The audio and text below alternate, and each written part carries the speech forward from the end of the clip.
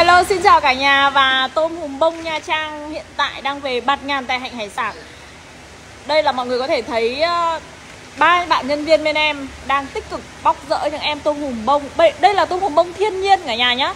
Hùm bông thiên nhiên mọi người có thể thấy là cái màu sắc của nó đậm già Hùm biển ấy ạ, nó khác hẳn khách khách khách cái con đấy.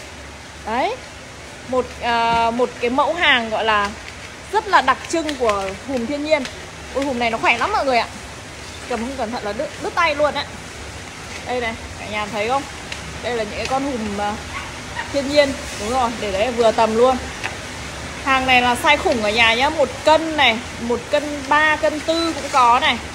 Đây là những em hùm xuất hàng rất là đẹp luôn Mà hàng thiên nhiên già hùm đẹp hùm luôn ạ. Hàng này khỏe vô đối. Hùm bông này được đánh giá là hùm ngon nhất, hùm đắt nhất trong tất cả các loại hùm nhé và hùm mình ba Nha Trang thì chắc là mọi người cũng biết rồi đấy là số 1 cả nước.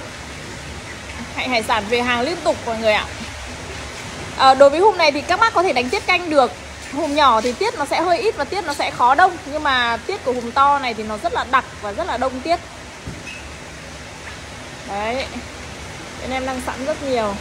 Ý đừng bỏ bể vội nhá Để tí còn quay video cho mấy khách nữa lấy tôm hùm đã. Nhìn thích không cả nhà một đan tôm hùm luôn. Đàn la liệt luôn ạ.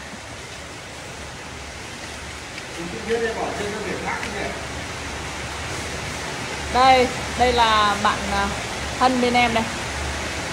Đấy. Hơn một phân. 11 phân. Một phân, hơn một phân.